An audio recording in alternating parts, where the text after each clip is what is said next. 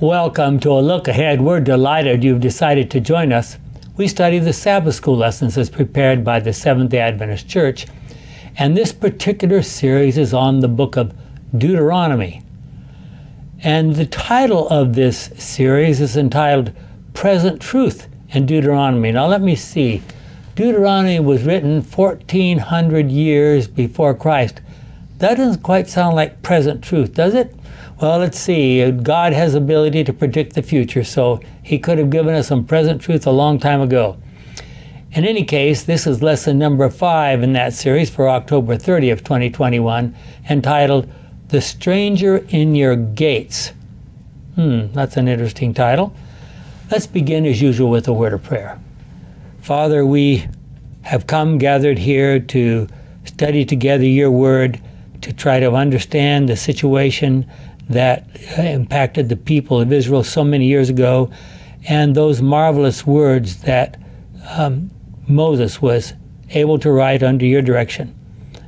May we understand them as far as possible, and may we work them into our lives as far as possible, is our prayer. In Jesus' name, amen. amen. You might think that Deuteronomy is one of those Old Testament books that nobody pays much attention to anymore. But I would remind you that Deuteronomy is quoted 44 times in the New Testament. Some passages that are very familiar that you no doubt would know about, and maybe you didn't know they came from Deuteronomy. Let's take a look. Jesus himself made this very important statement, quoting Deuteronomy as recorded in Mark 12, 29 to 31. Jim? Jesus replied, The most important one is this Listen, O Israel or listen, Israel, the Lord your God, or our God, is the only Lord. Love the Lord your God with all your heart, with all your soul, and with all your mind, and with all your strength. The second most important command commandment is this: love your neighbor as you love yourself. There is no commandment more important than these two. From the American Bible Society of 1992. So now let's see if we can work on this as we discuss together. What is the relationship between loving God fully and completely and loving our neighbors as ourselves? Jesus went on to say, and let's just let him finish up here there is no other commandment greater than these. Are we to understand then that the love is the single greatest commandment?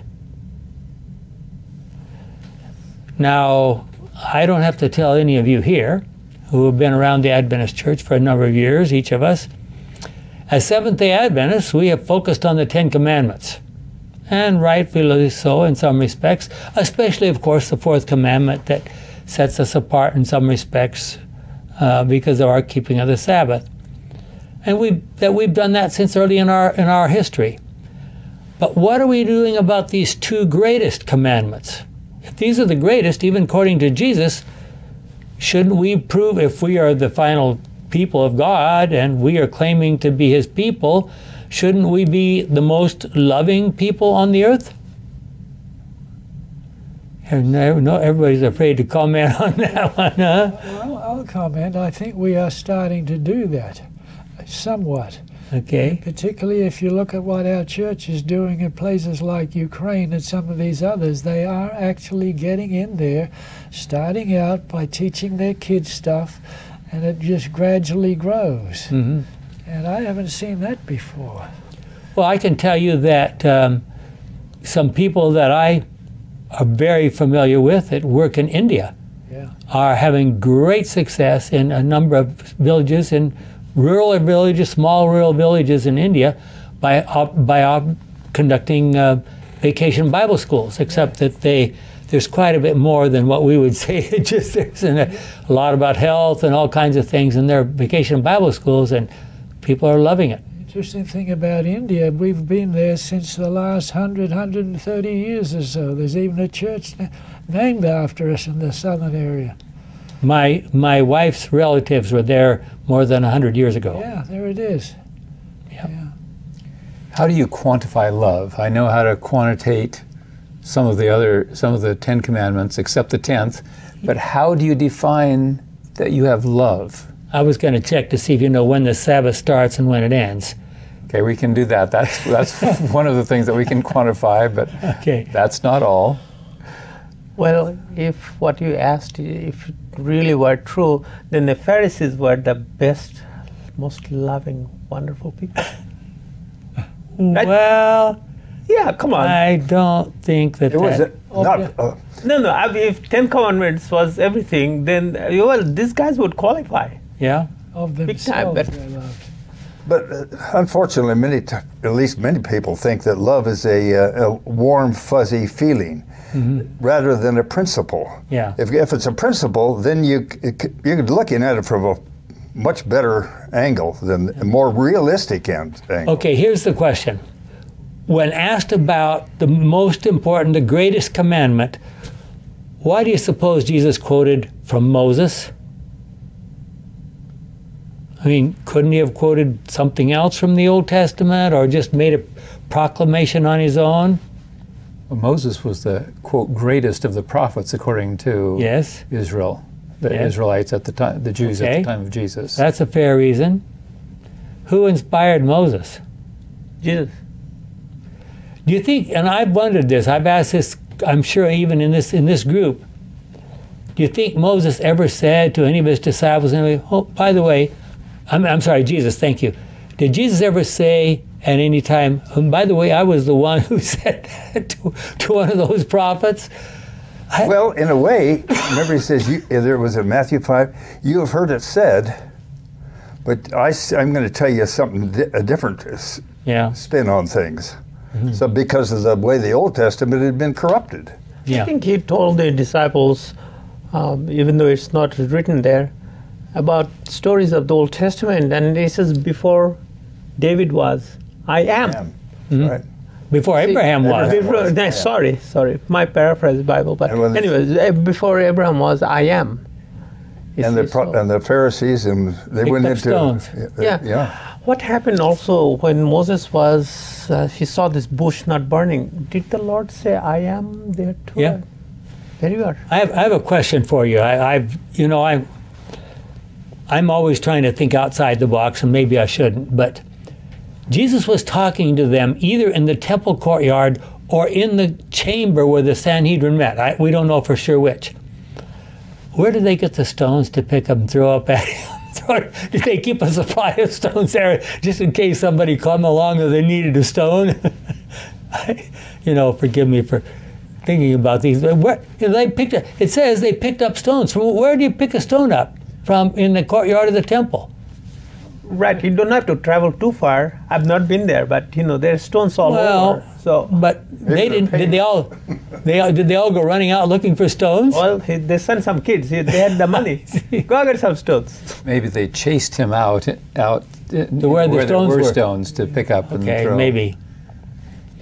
Well, these commandments we're reading, we've already noticed uh, in in our discussions that Deuteronomy consists of four major sermons or presentations, whatever you choose to call them, that G- that Moses made to the children of Israel while they were camping on the plains across from Jericho. They could see Jericho very clearly across the flooded Jordan. It, it was early in springtime of the year, and so the, the Jordan was probably flooded, but they could see it right across there. So they were, I mean, they were standing on the footstep of the promised land. Okay? And what was happening? Well, didn't uh, they went into a little bit of uh, trying out some other gods? Well, we, we're getting to that, but yeah, that's a, I mean, think about what Moses is doing. Moses is very carefully trying to write out everything that we have recorded here. And he was not going to live for too long. He's, he's getting ready to turn around, go back the other direction, climb up the mountain, and die. Well, we of course need to remember that the chapter and verse divisions and so forth that we think are almost sacred were not there in any of those original documents. We have uh, Deuteronomy 9 that we just looked at a little bit. Um, goes just flows right on to Deuteronomy 10. There were no breaks in those original documents. So let's see what Deuteronomy 10 says. Carrie? I'm reading verses 1 through 11. Then the Lord said to me, Cut two stone tablets like the first ones and make a wooden box to put them in. Now let's interrupt for just a second to where, if you're familiar with this story, you remember, and we talked about this last week. Moses came down the mountain. He found them dancing drunk and naked around this golden calf that they were calling Yahweh. The here's the golden calf that led us out of Egypt. And I don't know whether he just said he just complete, was so shocked that he dropped the tablets, but literally, the text says he threw them down, and then later he said, "Here's the broken pieces of your covenant with God." So, I mean, so anyway, here's what here's what happened as a result. Carrie. Okay. Come up to me on the mountain, and I will write on those tablets what I wrote on the tablets that you broke, and then you are to put them in the box. So I made a box of acacia wood and cut two stone tablets like the first ones and took them up the mountain. Let me interrupt again for a second. I can't forget a cartoon I saw in a religious magazine once, and it shows Moses standing there, and you could see the people in the background dancing, dunk, dancing, dancing drunk around this golden calf, and he was. You could see he was trying to hold on to these tablets, but they have just fallen on the ground, broken into pieces. And the comment at the bottom says, You break all 10 at the same time, and all you can say is, Oops. okay, Carrie, sorry. The Lord wrote on those tablets the same words that He had written the first time. The Ten Commandments that He gave you when He spoke from the fire on the day you were gathered at the mountain.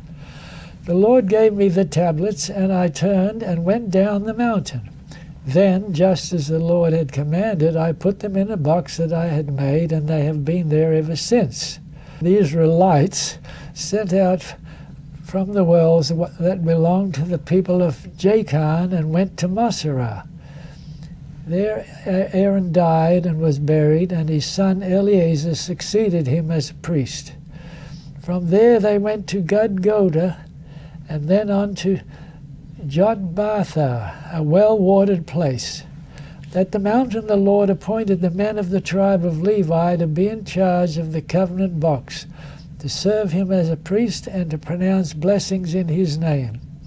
And these are still their duties. That is why the tribe of Levi received no land as the other tribes did. What they received was the privilege of being the Lord's priests as the Lord your God promised. Okay. I stayed I stayed on the mountain 40 days and nights as I did the first time. The Lord listened to me once more and agreed not to destroy you.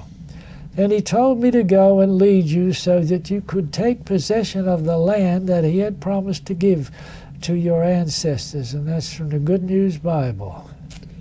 It turns out it's very difficult to get to the place where Aaron died. Very difficult. It's a rough mountain. It's a, but I had the privilege of climbing up a mountain not too far away and taking a picture of it with my telephoto lens. So I have a picture of the place that supposedly is the mountain where, where Aaron died. God did not abandon the children of Israel, even though they had turned so quickly to idolatry, even while Moses was still up in the mountain. And I, I always stop in my mind and I think about this. That mountain, the one that they think is Mount Sinai, and it, it may not be the correct one, but none of those mountains are very high. So here they are at the bottom of the mountain, and you can see the top of the mountain plainly with ordinary eyesight. And there's God's cloud resting up there, and the and the, the and the black that had shaken the whole mountain, and the, and then they were scared with their faces down in the dirt, and so forth like this, and it's still up there. It's still there, and now they're they're dancing drunken naked around a, a fertility cult symbol.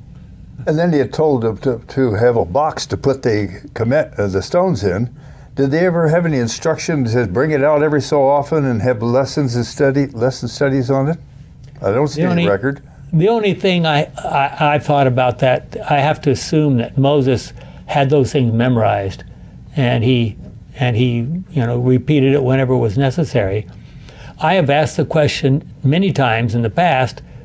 It seems like instead of establishing a tent sanctuary out there, they would have been a lot better off to p- develop a series of bunch of schools to train kids. Um, anyway, Well, obviously, I- I'm not trying whatever say- happened, they came out still pagan. yeah, Well, After think 40 about years. was it Josiah? He says, "Let's clean up this place. Let's Yeah. go back." And they brought up the books of uh, the law and probably Deuteronomy. Right, did right, right. So f- generations probably went on without them even knowing. But the Lord says it's in there. I've just given it to you. if we're going to come up to, to this eventually in our in our lesson series of lessons here, but I can tell you, especially the king. He says if you have a king, that king is supposed to have a copy of this book, and he's supposed to read from it every day. Hmm. How different would the history of Israel been if they had done that? Hmm. I would propose that those schools that you had postulated that they should have been for the old people like us, as what, and not just for the kids. Yes, not just for the kids. Yes, I, I would agree. But if you if you're talking about a thousand years down the line, if you keep educating the kids, eventually you'll you'll do okay. Eventually, Well, Moses dropped her. God did not abandon the children of Israel, even though they had turned so quickly to idolatry. Uh, Moses dropped or threw down those first precious tablets of stone on which had been written the Ten Commandments by the finger of God. I don't know. Do you think Moses got to see him write with his finger on the stone? I don't know. I, I want to just one other thing. Uh, everywhere they went, and especially when they crossed over Jordan, go get some stones. Yeah. When your children ask you, tell them what really had happened. So Yeah. there was going to be object lesson, you know, right there. You could see these stones reminded the miracle, miraculous way that the Lord had brought them through. So I, I have a picture long ago now because the Jordan River has been so many people drawing water out of it. It's, it's almost a trickle now. But I have a picture of it back about 1930s, and it was in flood stage, and that's the way it was at that point in time. I mean, almost that entire valley from Jericho to where they camped was probably flooded with water. And remember, specifically, he told them, okay, when you march across the river, in the middle of the river, one person from each tribe is to get a big stone, take it out the other side, and you're supposed to make an altar with those 12 stones. And uh, I wish I could find that altar. well, um, thus he si- signified God to Moses that their covenant with God, I mean Moses, that their God to Moses that their covenant had been broken. Uh, um, Charles, you want to read to us about? Yeah, Deuteronomy 9:17. So there is in front of you I threw the stone tablets down and broke them to pieces. Good Okay. Bible. Let me ask you there. I'm, I'm lots of interruptions there. I'm sorry. Do you think Moses did that intentionally so they could see it? I think so. Quite likely. Quite likely. he was upset. He was disappointed. Do you think any of the children rushed up to see if they could see a piece of the Ten Commandments where God's finger was, had written? That's what I would do. do you think God instructed Moses to throw them down No. Uh, that's a good to question. signify breaking of the of the treaty, the covenant that they had? It, it was amazing that he was willing to do it for them again. That's for sure. Could have been Okay, Charles, you want to read on Sir, there? Uh, Deuteronomy 32:19. When the Lord saw this, he was angry and rejected his sons and daughters. Good News Bible. To show his abhorrence of their crime, he, Moses, threw down the tablets of stone, and they were broken in the sight of all people, thus signifying that as they had broken their covenant with God, so God had broken his covenant with them. Ellen White Patriarchs and Prophets, page 320 and paragraph 1. Okay, so that suggests that Moses did this while they were all watching, and it specifically meant that they had broken their covenant. Well, God agreed to re- rewrite the commandments on new tablets, on new tables of stone, so the children of Israel could have they could have them in their possession. Then God tried to convince the children of Israel how important it was, and still is, I would add, to obey His commandments. He reminded them of who He was. Ira? Deuteronomy 10, verses 14 to 16. To the Lord belong even the highest heavens. The earth is His also, and everything on it. But the Lord's love for your ancestors is so strong that He chose you instead of any other people, and you are still His chosen people. So then, from now on, be obedient to the Lord and stop being stubborn. Good News Bible. Deuteronomy 10, verses. Uh, it's the same verses from King James. Yeah. Oh, this is from Yeah, King James. we- Okay. So it's Deuteronomy 10, 14 to 16. And we're going to do this because our Bible study guide comments on the King James language. Okay. So from the King James Behold, the heaven and the heavens of heavens is the Lord thy God, the earth also, with all that is there that therein is. Only the Lord had a delight in See, this is hard for me to read. Yeah, sorry. Only the Lord had a delight in thy fathers to love them. He chose their seed after them, even you above all people, as it is as it is this day. Circumcise therefore the foreskin of your heart, and be no more stiff necked. Okay, now, do I you didn't think? see circumcision or stiff-necked in the Good News Bible. No, you didn't. It's under eh. mercy, not under grace, not law. Well, that was my question too. Do you think the children of Israel understood what in the world he was talking about? He talked about the circumcision of the heart. I don't know. No, well, it had to be their lingo. If not, you know, why even tell them? So Yeah. They wouldn't- Must have been somehow or other. And stiff necked. I think they probably understood stiff necked. they, they had to know that What, very well. what does the is it in Hebrew? What? Well, it says quite literally those terms. Okay. And so you you have the option. Do you you just literally translate what it says there and let people interpret for themselves, or you try to help them by interpreting based on what you know about the what the translators know about the situation. So that's that's the option. Well, in these verses, God has made it very clear that an external circumcision or any other external sign would not be and is not adequate for what it was or is what he was or is asking of his children. He needed and, and needs a new birth, a transformation of the inward motivations motives of the heart. Do we have any divided loyalties? What might they be? But when you look at the scriptures, this is the theme that goes through the scriptures. You know, I mean, Isaiah 58. Mm-hmm. I hate whatever you bring. I don't want this stuff. Mm-hmm. I even hate your keeping of your Sabbath. And uh, Isaiah 1, he said, I don't want to even listen to your hymns anymore. I mean, So that you see this theme all along in the mm-hmm. scriptures. well, notice what God went on to say through Moses. Deuteronomy 17, Deuteronomy 10, 17 to 19 in the Good News and then the King James. The Lord your God is supreme over all gods and over all powers. He is great and mighty, and he is to be feared. He does not show partiality, and he does not accept bribes.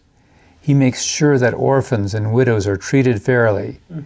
He loves the foreigners who live with our people and gives them food and clothes.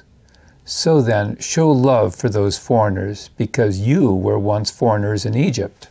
Okay, have the King James?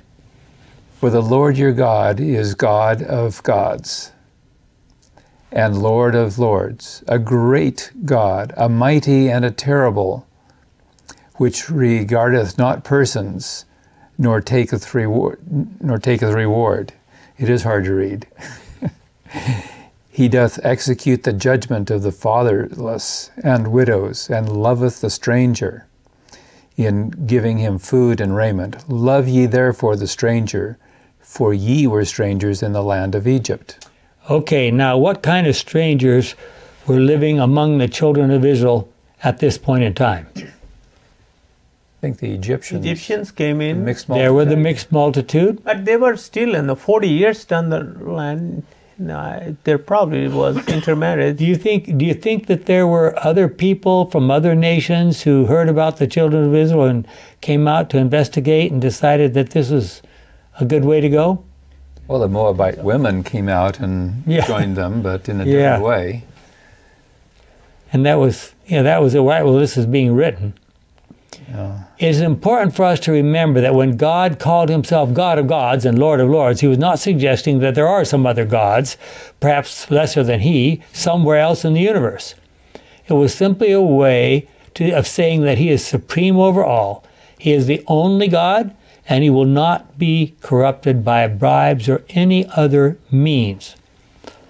Um, I'm not sure how good we are doing with time, but uh, here he says, uh, "You are a stranger, so be nice to them." Also, he said, "Look, when you go there, don't have any no treaty with this Yeah. folk." Yeah. You know, so he wanted to keep them separate at the same time to be nice to them, yeah. to be good to them, but So, who are the fatherless, the widow, and the stranger in our society? What, does that include the homeless, the drunkards, the drug addicts, etc.? How should we relate to these people? Is it easy to carry the gospel to them? Um, but how does our God behave in reference to all that? Colossians 1 16 and 17. For through him God created everything in heaven and on earth, the seen and the unseen things, including spiritual powers, lords, rulers, and authorities. Now, this is talking about Jesus. God created the whole universe through him and for him. Christ existed before all things, and in union with him, all things have their proper place. There are many passages in Scripture, including Psalm 146, 5 to 10, that make it clear that God is the source of our lives. By that we mean that, that every breath and every heartbeat happens only because He makes it happen. When we say that, we're, we, what we're saying is the chemical forces, the biological forces that interact to make every breath and every heartbeat and every thought work were designed by God and they only work because God made them that way. He is the source of any healing that happens. Uh, he, gave, he gives us power for the, everything that we do. Particularly challenging and interesting is what Deuteronomy 10:19 says, "Therefore love the stranger, for you are strangers in the land of Egypt." Aha. Now I have an excuse. I don't need to bother with that rule because I was never a slave in Egypt, right? Since we have never been slaves in Egypt, does this give us does this verse not apply to us? Or should we think of ourselves as strangers in this sin polluted world? Do we belong to this world? God had warned Abram 400 years earlier that his descendants would uh, pass through those terrible years of enslavement in Egypt. Jim? Genesis 17, verse 8. I will give you and your and to your descendants this land in which you are now a foreigner. The whole land of Canaan will belong to your descendants forever, and I will be their God. Good News Bible. Acts 13, 17. The God of the people of Israel chose our ancestors and made the people a great nation during the time they lived as foreigners in Egypt. God brought them out of the out, excuse me, God brought them out of Egypt by his great power. Exodus 15:13. Faithful to your promise, you led the people you had rescued. By your strength, you guided them in your sacred land, or to your sacred line. And I have to make an excuse here. I repaired that Exodus there, put the E back in, but somehow or other I didn't get it on this one anyway. It's Exodus 14, 13 again. Now, go ahead. Moses answered, Don't be afraid, stand your ground, and you will see what the Lord will do to save you today. You will never see these Egyptians again. Good News Bible. Have any of us, you out there, any of us here lived on the margins of society, being outcasts or slaves in a given situation? At the foot of Mount Sinai, the children of Israel had been designated by God as, quote, a people dedicated to me alone, and you will serve me as priests. Exodus 19 6, Good News Bible. But even though they may have known all the details of every religious ritual and all that God wanted them to do, that did not change their duty to honor human rights, including to, for the stranger, the widow, and the orphan. So now we haven't decided who the widows. Does this mean literal widows, widows and orphans, or could that include more, some other groups? The strangers, does that mean, I'm sorry, the It whole would certainly include the specific ones Yeah. named, Yeah. but you know, as you're suggesting, maybe it's a little bit more expansive than that. Okay, so let me give you an example. I have a patient, very faithful patient of mine, who has a lot of problems, including a child that's somewhat disabled, uh, along with a couple of other children. And her husband was abusing him, so she had to go and get a restraining order from the police to keep him away, which he qualifies as a widow. Effectively, Okay? So those kind of questions can come up. Yeah. Well, not many of us are given the responsibility of judging any other people legally or financially, but do we criticize them and disrespect them by our attitudes and behaviors? When we see the guy standing there by the street corner holding a sign and so forth, and we say, you know, is it even right to say, I'm so glad that I'm not there? Is that disrespectful? Well, there's a. it's honest. it's honest. There's a famous law code that was drawn up years before Moses. And many critics of the Bible claim that Moses just got his ideas from this guy, who, of course, we, he, Moses wrote Exodus, Leviticus, Numbers, and Deuteronomy. It was put together by a famous ancient king by the name of Hammurabi. And that code, so called, he made legal. In that code, he made legal what mothers have been saying to their children for millennia. If you do not want your brother or sister to hit you, do not hit them. If you, in other words, and then in his code, it comes out if you don't want someone else to mistreat you, don't mistreat them. Thousands of years later, when Jesus was on this earth, he turned that command upside down. Now you might say, how come I'm quoting this? And we're talking about Deuteronomy. We'll get to that in just a moment. In Matthew 7, verse 12, Jesus said, Do for others what you want them to do for you. This is the meaning of Deuteronomy, right? The law of Moses and of the teachings of the prophets. Is that what we got out of Deuteronomy? Well, Well- it's what we should have gotten, but Yeah. most of us didn't get it. I see. Uh, it certainly wasn't true in the days of Jesus. They hadn't gotten it. So, what's the difference between the code of Hammurabi and the command from Jesus, which he ascribes to the law of Moses and the teaching of the prophets? The code of Hammurabi has everything the negative.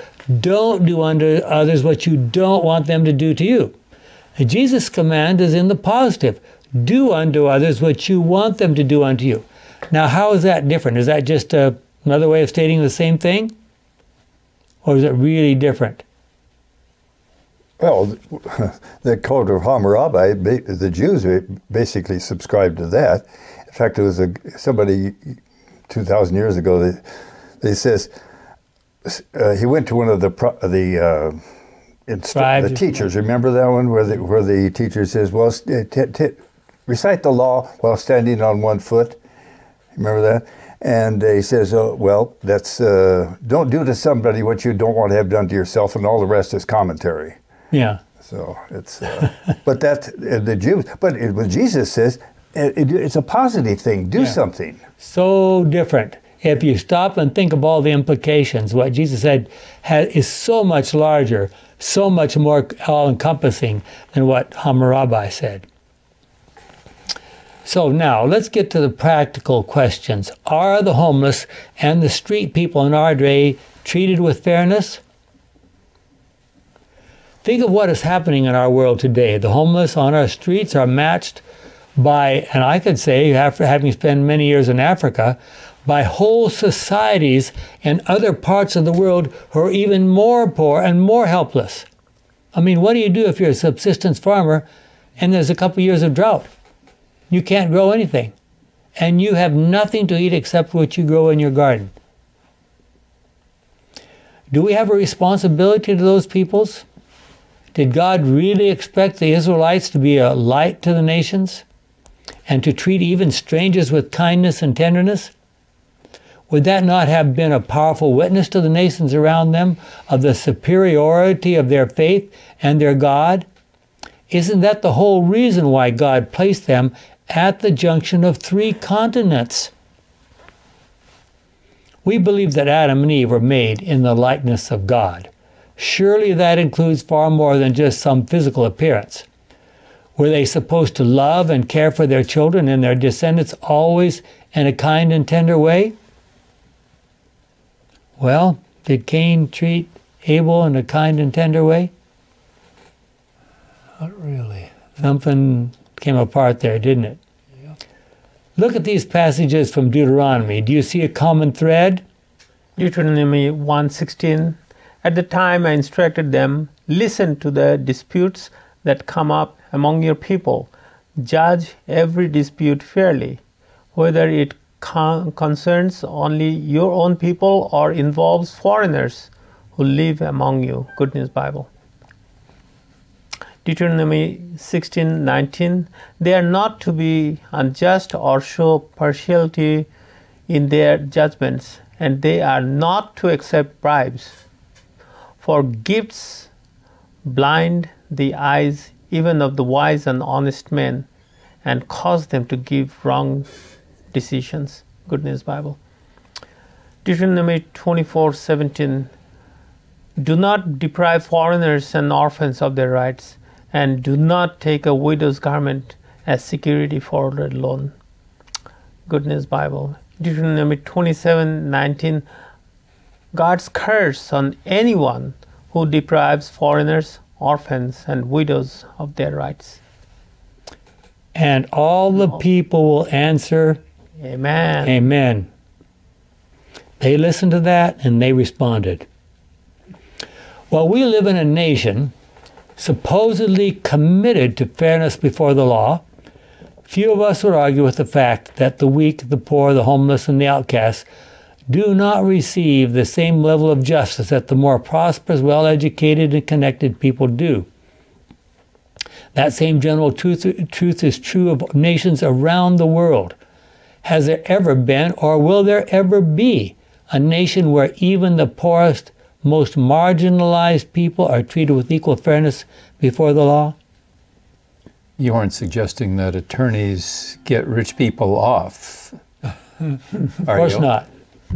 Jim, you wouldn't do a thing like that, would you? I'm not an attorney, so thank goodness. but I, do, you know, we've all heard stories. Uh, it's a it's a money. What did Of God? course, and then there are the public defenders that are supposedly trying to help the homeless and the poor to have the same privileges that the rich do. So now that we're talking about taking care of the foreigners and the, the, the widows and the orphans, what did God mean when He said, You shall be holy, for I, the Lord your God, am holy? Holy means set apart, separate. Is it, is it of any value if we learn to go through all the usual motions of practicing a, a proper religious tradition, but we do not love God and love our neighbors and act accordingly? The later prophets in the Old Testament, including several of the minor prophets, spoke out repeatedly against the ill treatment that was given to the poor and marginalized. In the days of Amos and Isaiah, for example, the poor and the needy were despised and mistreated, both in the northern kingdom of Israel, later known, known as Israel, um, which was about to be conquered by the Assyrians, I might add, and the southern kingdom of Judah with its ca- capital in Jerusalem. Amos came from the southern kingdom of Judah with this, uh, I'm sorry, Amos came from the southern kingdom of Judah, but he was sent by God to witness to the northern kingdom of Israel. Finally, you if you read his book, they were the people in the north said, "Go home, go back to your own country." Isaiah, a cousin of the king in Jerusalem, remained in and around Jerusalem throughout his ministry. Look at some of the words spoken by Amos, Isaiah, and even Jeremiah to throw in some more uh, another prophet to describe the conditions in their world. Amos 2, uh, verse 6. The Lord says, The people of Israel have sinned again and again, and for this I will certainly punish them. They sell into slavery, slavery honest people who cannot pay their debts, the poor who cannot repay even the price of a pair of sandals. Good News Bible. Wow. Amos 4 1, verse 1. Listen to this, you women of Samaria who grow fat like well fed cows of Bashan, who, who ill treat the weak, oppress the poor, and demand that your husbands keep you supplied with liquor. Wow. How appropriate that you should read that. Yeah, right. Amos 5:11. You are pressed you have oppressed the poor and robbed them of their grain. And so you will not live in the fine stone houses you build or drink wine from the beautiful vineyards you plant. And of course, that's because they're about to be overrun by the Assyrians. Isaiah 3 14 and 15. The Lord is bringing the elders and the leaders of his people to judgment. He makes this accusation You have plundered vineyards, and your houses are full of what you have taken from the poor. You have no right to crush my people and take advantage of the poor. I, the sovereign Lord Almighty, have spoken. Okay? Isaiah 10, verses 1 and 2. You are doomed. You make unjust laws that oppress my people. That is how you prevent the poor from having their rights and from getting justice. That is how you take the property that belongs to widows and to orphans. Hmm. Jeremiah 2 34 and 35. Your clothes are stained with the blood of the poor and the innocent, not with the blood of burglars. But in spite of all this, you say, I am innocent. Surely the Lord is no longer angry with me. Hmm. But I, the Lord, will punish you because you deny that you have sinned. Wow. I mean, it's pretty clear what the Lord had to say to them, isn't it? How many foreigners were living in Israel in the early days of this occupation of Palestine? How were the strangers to be treated? And let me just check here. This is uh, your your trivia question for today. What whole tribe were living in the midst of Israel? Officially approved.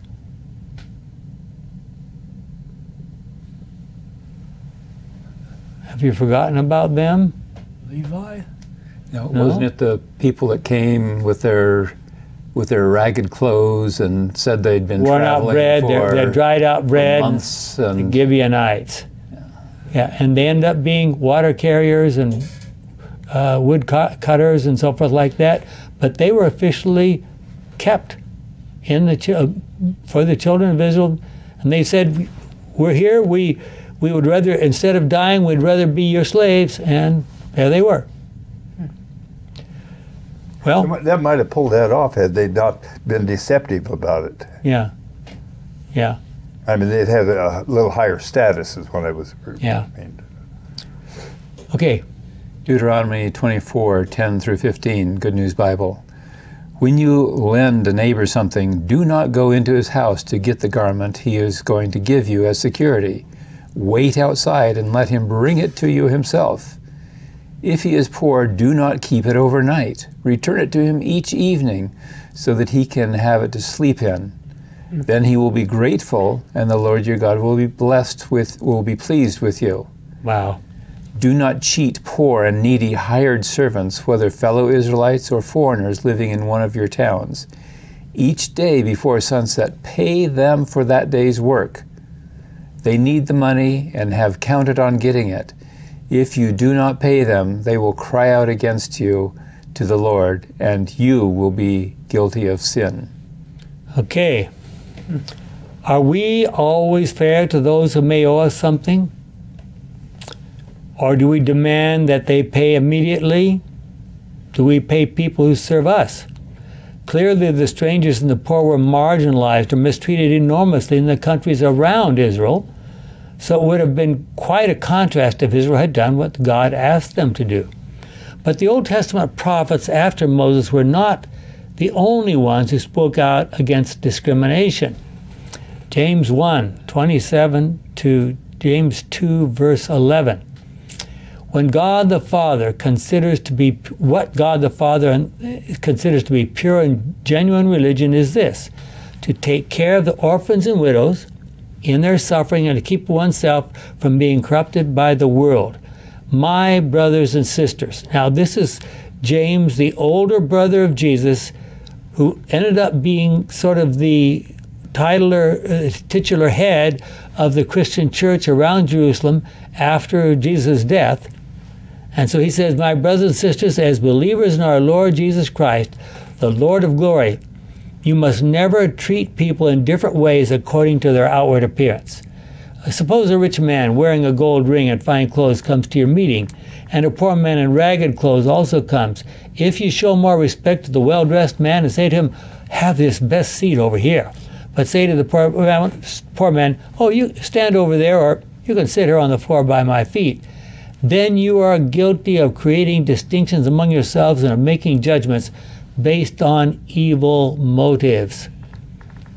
Listen, my dear brothers and sisters, God chose the poor people of this world to be rich in faith and to possess the kingdom which He promised to those who love Him. But you dishonor the poor. Who are the ones who oppress you and drag you before the judges? The rich. They are the ones who speak evil of that good name which has been given to you. You will be doing the right thing if you obey the law of the kingdom which is found in the scripture.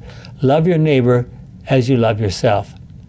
But if you treat people according to their outward appearance, you are guilty of sin and the law condemns you as a lawbreaker.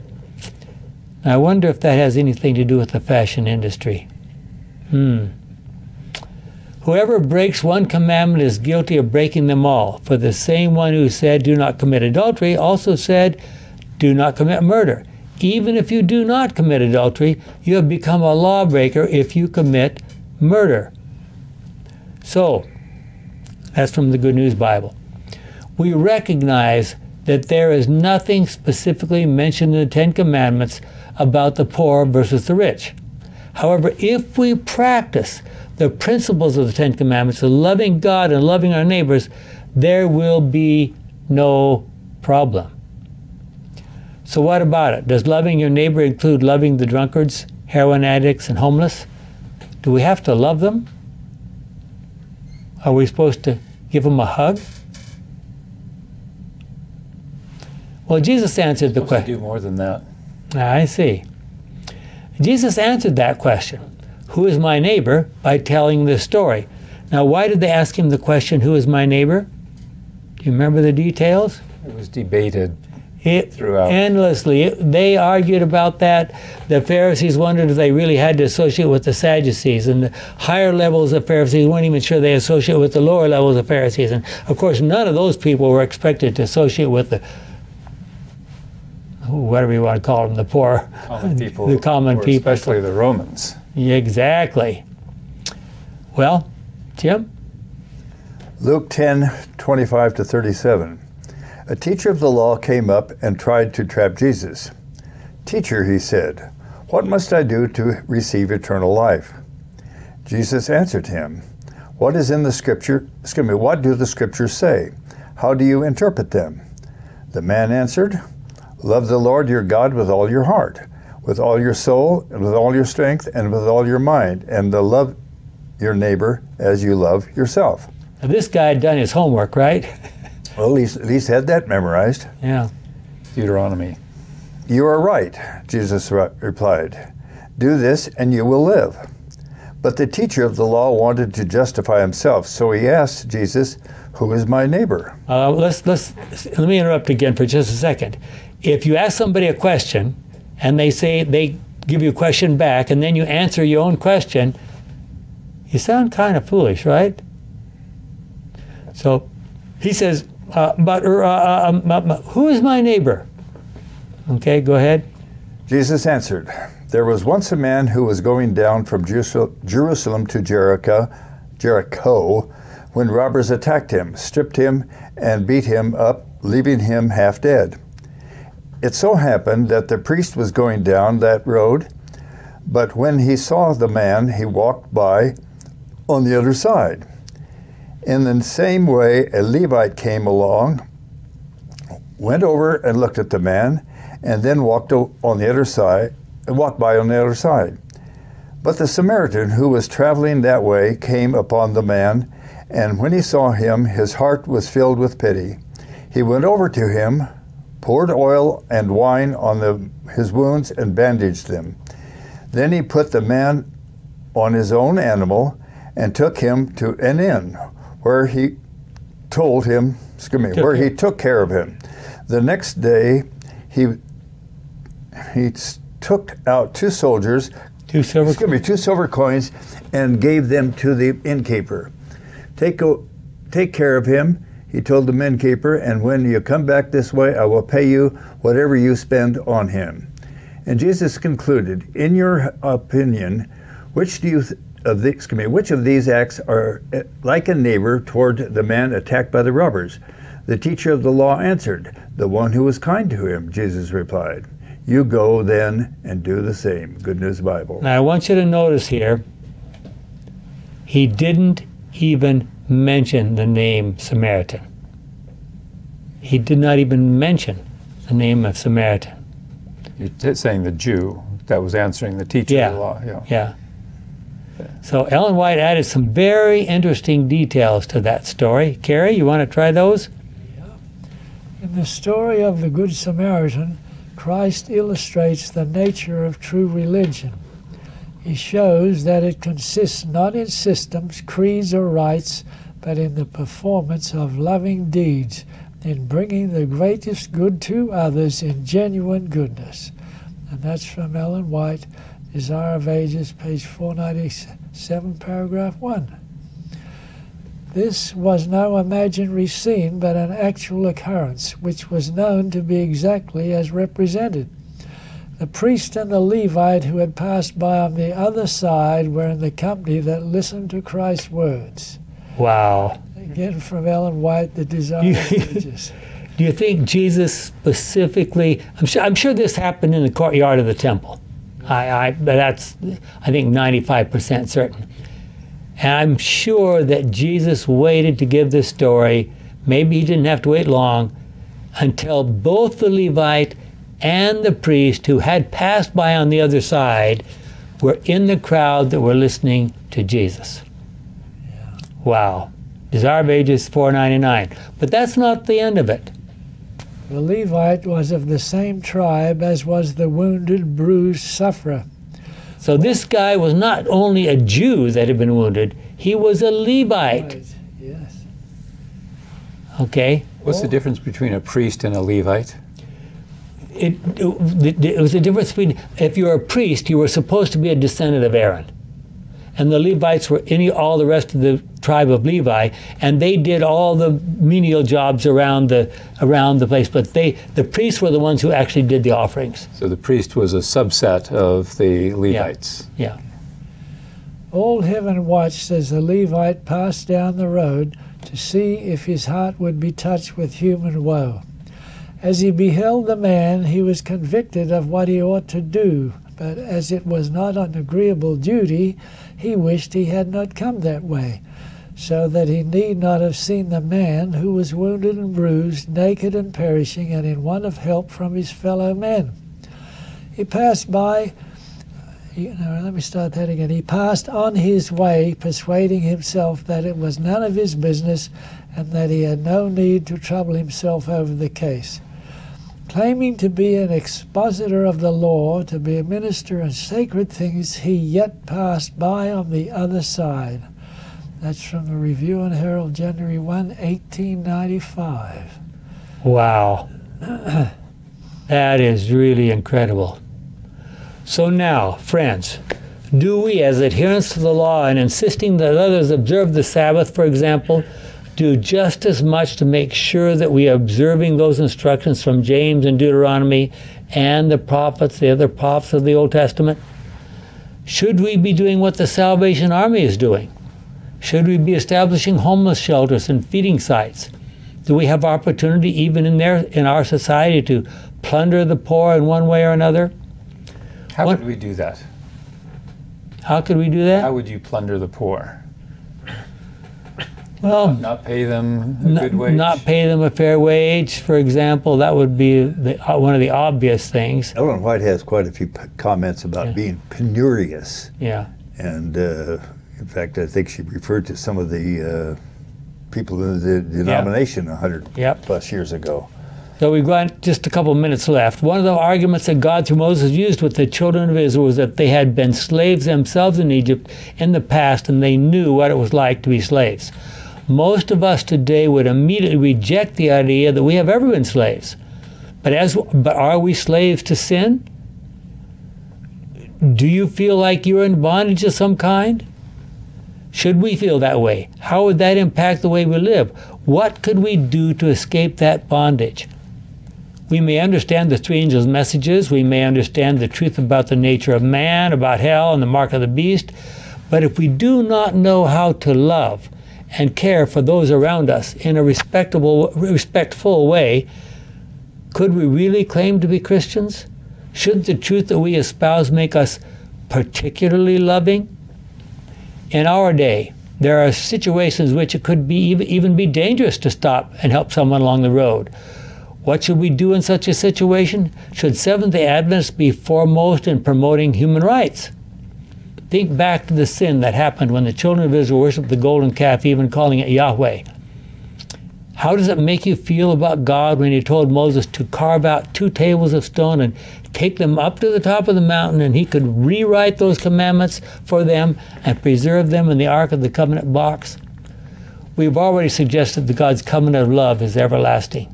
So, how could it be made new? And you know, of course, the famous passage in Jeremiah 31 where He talks about the new covenant. We don't have time to read that right now, but He did. So why, why uh, God suggests write the laws in, in, in the hearts. So why didn't God just do that right up front? I'll leave that question with you. Let's pray. Our kind and wonderful Father, we've had marvelous things to discuss here, to think about the issues that face us on a day by day basis and face them so many years ago. Help us to know how we should relate to those poor and needy and helpless, those who perhaps are homeless, those who uh, have all kinds of other problems. Help us to reach out with loving care to all of your children, is our prayer in Jesus' name. Amen. Amen.